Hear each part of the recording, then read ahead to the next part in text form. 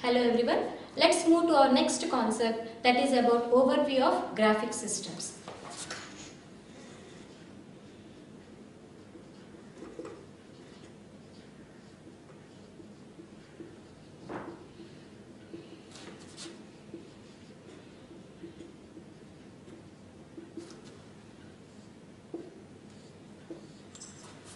So in this overview of graphic system, we need to discuss about what are different types of video display devices we have, what is raster scan system and what is random scan system. So let us start with different types of video display devices.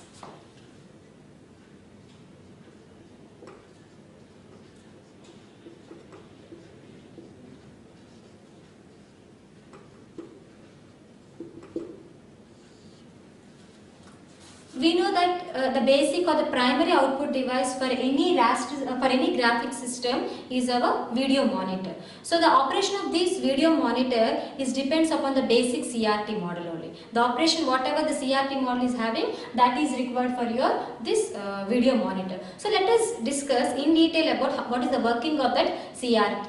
So CRT stands for cathode ray tube.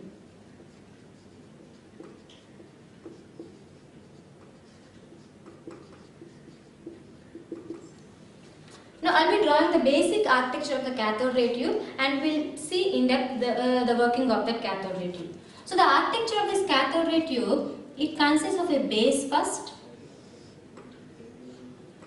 This is called a base and to this base connecting pins are connected. So these are the connecting pins.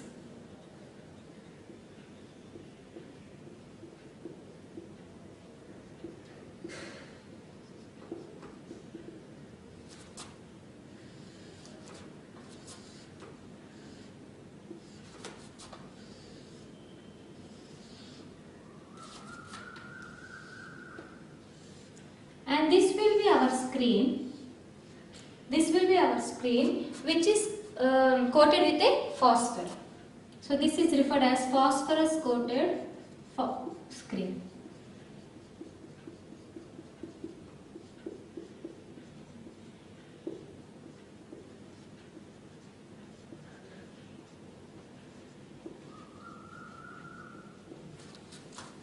now to this base an electron electron gun is connected. From that electron, this electron gun generates an electron beam that will be passed through focusing anode.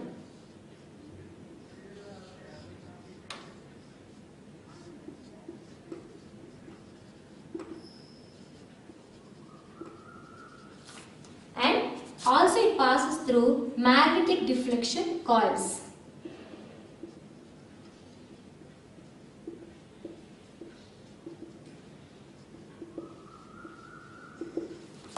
These two, this focusing anode and magnetic deflection coils will direct this electron beam towards this phosphor coated screen. So once this electron beam hits this phosphor coated screen, the, the, there will be a spot and that spot will be emitted. Now what happens here is as the phosphor, the light emitted by the phosphor will uh, rapidly, uh, the light will be dim. So we need to have one procedure the way the light should be emitted for the, picture screen should be displayed. So one technique for this is we need to repeatedly send back this electron beam so that it will be hitting at the same point and we can have an option of displaying the picture on the screen continuously. So this type of refreshing the screen is called as refresh CRT.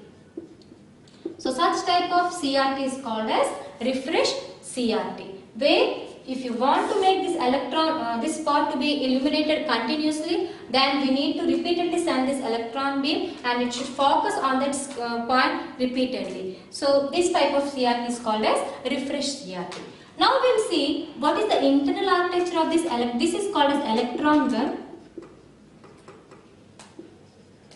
what is the internal architecture of this electron gun and what is the use of this focusing anode and this magnetic deflection coils.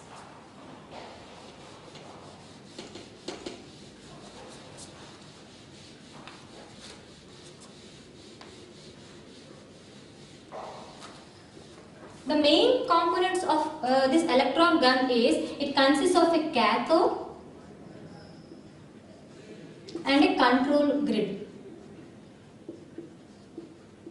These two are combinedly called as electron gun.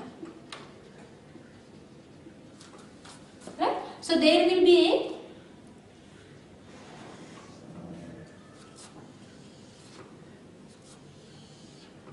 there will be a cathode. Let us suppose this is the cathode. There will be a cathode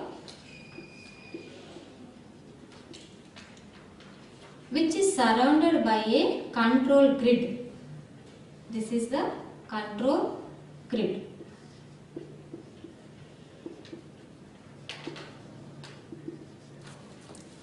Now we know like this this is completely an electron gun. Now this electron generate should produce an electron beam. Now how that will be generating that electron beam is inside this cathode there will be a coil of wire.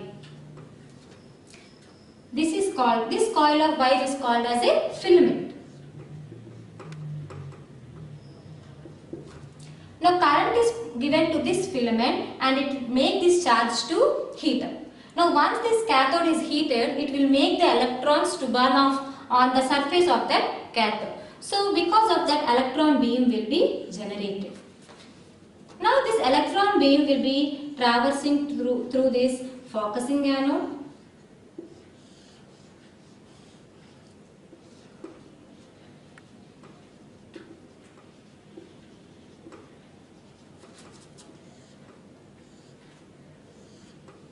accelerating anode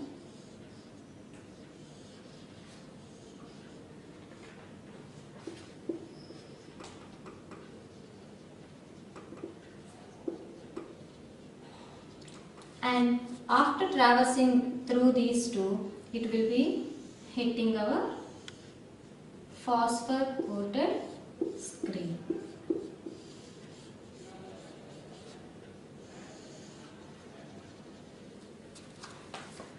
Now, what happens is once the electrons on this cathode surface gets boiled off, the vacuum inside this CRT generates negatively charged electrons.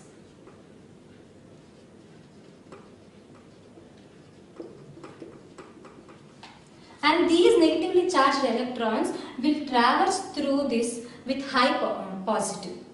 The, how the high positive can be generated is the, uh, the high positive generator can be accelerated by having a coating of high voltage coating inside the CRT or you can have an accelerating anode which generates the high positive to this negatively charged electrons.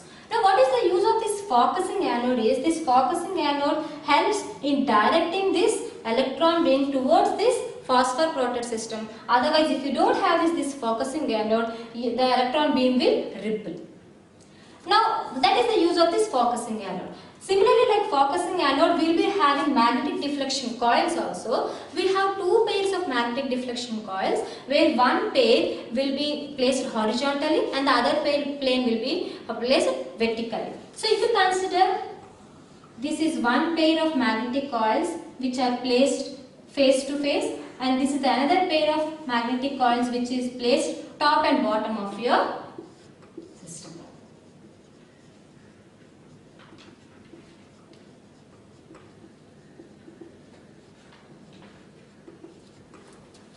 So this focusing anode and these magnetic deflection coils will help in traversing this electronic beam and hit it at a, at a particular position. This is the work of your uh, cathode ray tube which is one of your video display device. The next type of video display device is raster scan display.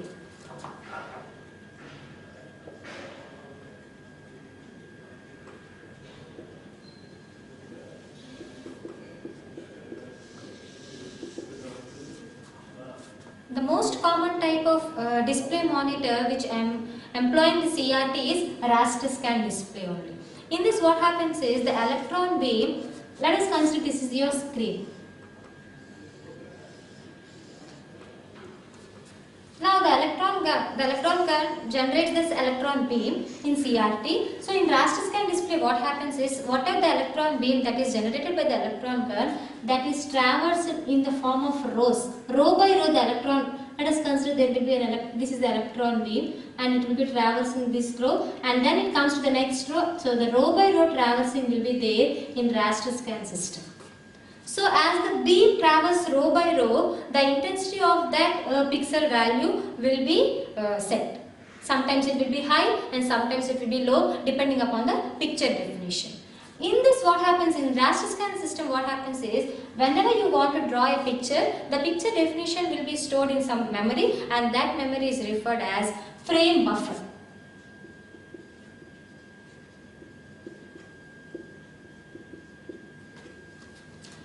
That memory is referred as frame buffer and in that frame buffer the picture intensity values for each and every pixel will be stored. Now let us consider this is the frame buffer. In this buffer let us consider you want to draw one image. So let us consider you want to draw an image of A. Now if you want to draw this A image, the these are all the rows. Let us consider these are the rows.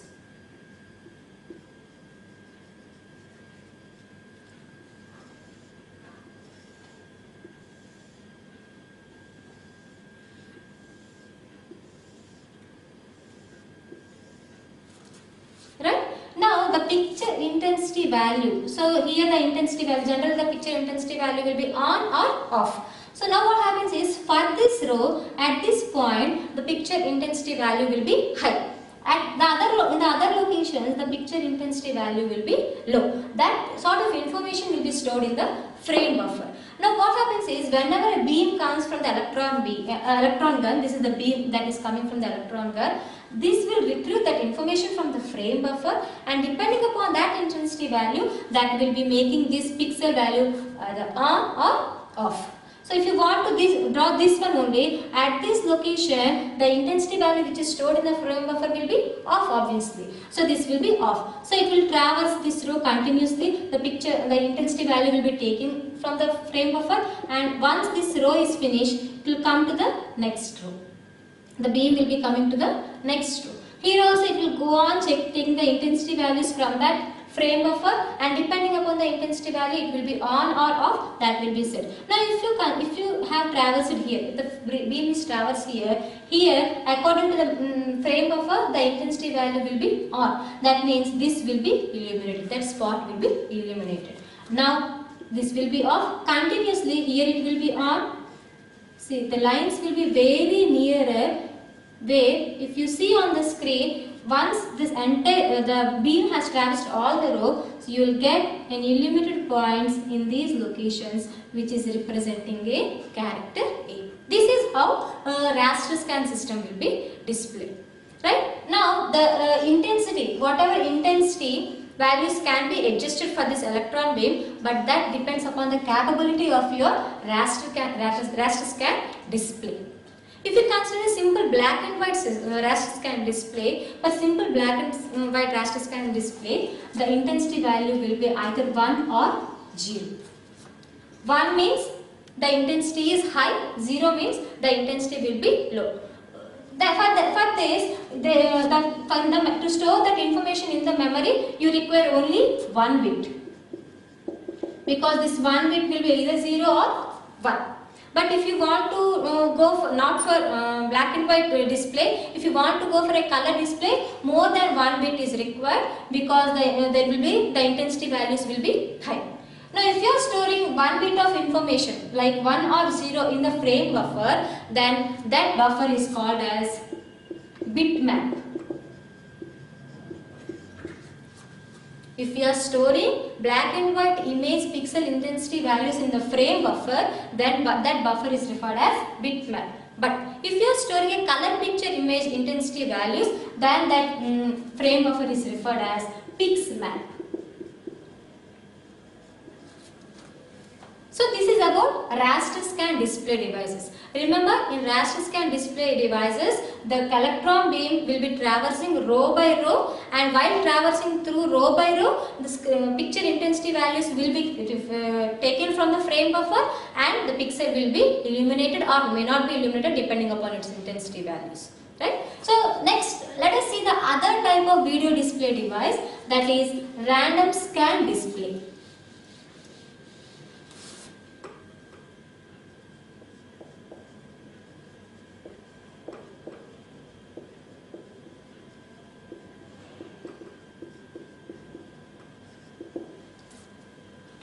Now in random scan display what happens is uh, here the CRT will generate the electron beam which will be directed directly towards that picture uh, lines. See if you see in random in raster scan display what happens is it will be traversing row by row. But whereas in uh, random scan system wherever you have a drawing at that position the electron beam will directly reflects that ele ele the electron will directly reflects the electron beam. Now here what happens is in raster scan system we can draw only straight line diagrams only. Curved lines cannot be drawn but that is possible with that raster scan system. So in raster scan system you can have images like this. But whereas in random scan system we cannot draw images like this because it is it is the uh, it can draw only straight line diagrams like you can draw diagrams of straight lines like this. Now whenever you want to draw, let us take the same example what we have discussed for uh, raster scan display that is a character A. How that will be drawn in random scan system is the electron gun, let us consider this is the uh, electron gun which is generating this electron beam. This is directly traversed here and it will draw a straight line here. Okay, there is no row by row traversal here. Now, after this straight line is drawn, again this electron beam will draw another straight line. Now, once this straight line is drawn, again now this electron beam is traversed here and it will draw a straight line. So, there is an option of drawing only straight lines here in the random scan display and the image will be drawn randomly without traversing row by row. This is about random scan display. The next, the next type of video display device is color CRT monitors.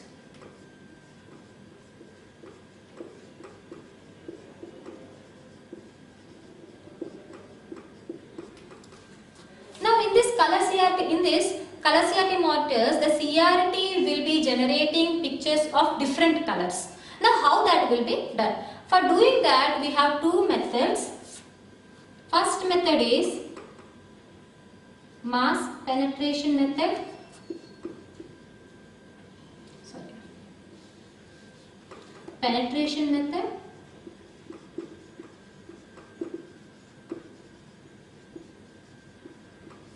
and second one is shadow mask method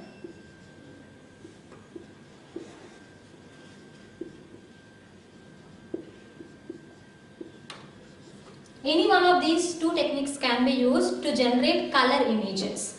Now, how, what is the difference between these two methods? See, first one, penetration method. In penetration method, what happens is, it will generate the um, color images where by considering different types of phosphors.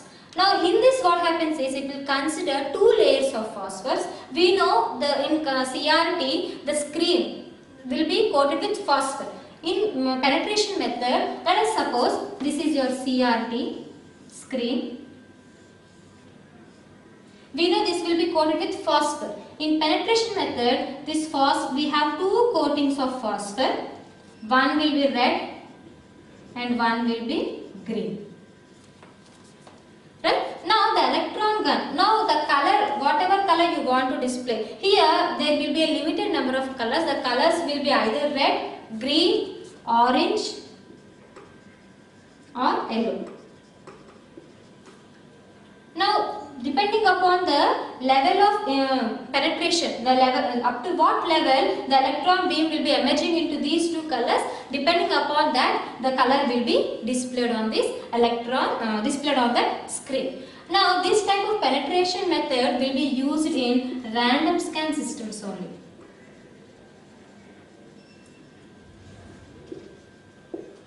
And it will generate orange and yellow colors. Now whereas coming to the shadow mask method, this will be used for raster scan systems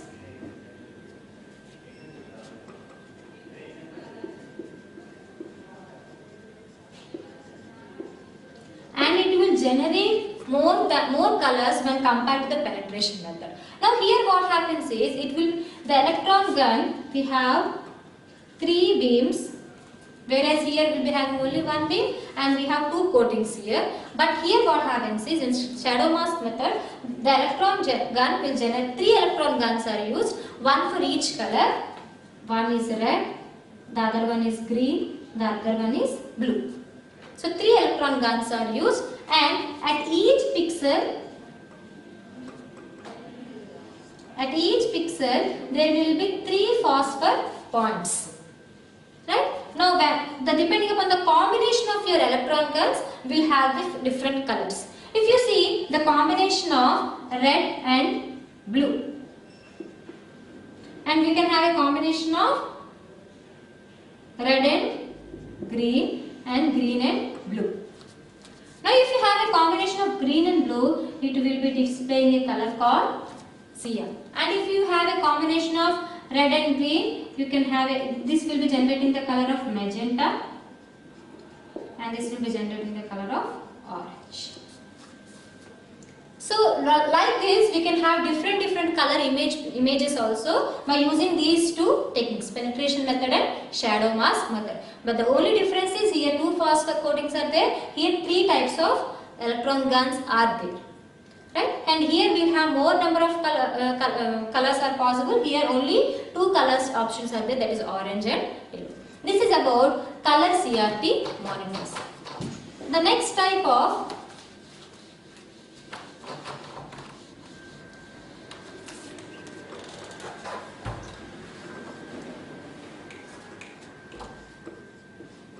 The next type of video display device is DS, DVST. This stands for Direct View Storage Tubes. In this type of video, uh, display devices what happens is uh, the picture definition will be stored in the form of charges charge and it will not be stored uh, it will uh, the CRT will not be a refresh CR the information will be stored in the form of memory buffer in the memory buffer only and it will be stored behind the phosphor coating only. In we will be having the phosphor coating behind that in the form of memory only the picture definition will be stored. Now what is the advantage of this type of um, direct view storage tubes is we can have pictures with high resolution. But what is the disadvantage is uh, if you want to uh, remove some part of your image that is not possible. If you want to make any changes in that image we need to completely uh, erase that image and we need to redraw that image. That is the disadvantage and high resolution pictures can be displayed using these direct storage devices.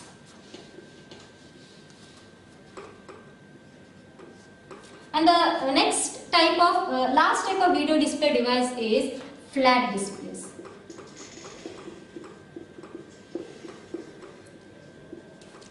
Now, this flat displays when compared to CRT cathode ray tube displays, it reduces the size, volume and power consumptions also. Now, whenever we consider flat displays, we have two types of flat displays, emissive and non-emissive.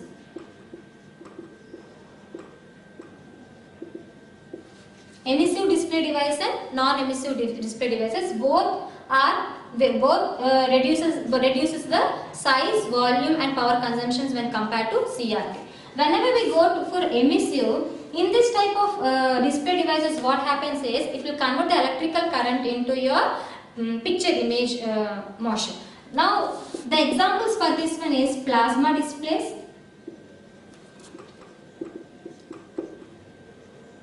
and LEDs. Whereas here in non-emissive what happens is it will consider the surrounding lightings also and depending upon that the picture quality will be there. Now the examples for this non-emissive is LCDs. Okay, so this is these are the different types of video display devices are there. Cathode ray tube, raster scan display, random scan display, color CRT monitors, direct view storage tubes and flat displays. Thank you.